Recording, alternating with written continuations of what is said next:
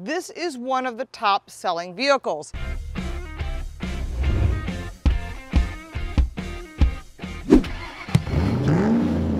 There are lots of minivans on the market, but only one comes in all-wheel drive, and that is the Toyota Sienna.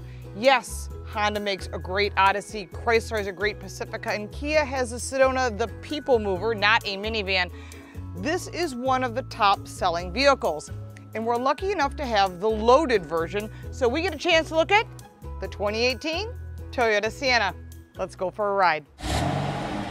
The XLE is pretty loaded. It's got a 3.5 liter engine in it, very easy to drive, nice grippy steering wheel.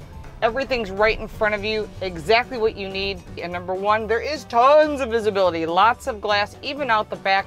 When there's no one in the third row, the headrests tilt down, which I think is really important, should be there, or the ability to get them out of the way so it doesn't impact your visibility. Lane departure alert, unavailable below 32 miles per hour. Yes, there is lane departure warning, there is an eco mode, there's a lot of nice safety features on this vehicle that you would want, especially when you're transporting a family or a bunch of other kids. The center stack is really easy to use, all simple buttons, nothing unusual, nothing that would make you say, I have no idea how to use this.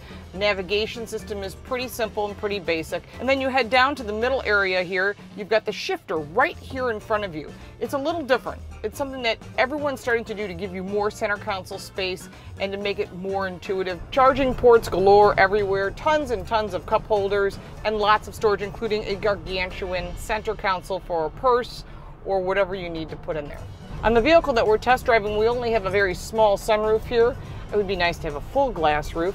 But again, this is a personal choice because if you've got little babies in back, you probably don't want the glass roof because you don't want them to get too hot. The one nice thing about this Toyota Sienna is the steering is very specific. It's not over boosted, it's easy to drive, and the brakes are nice and firm.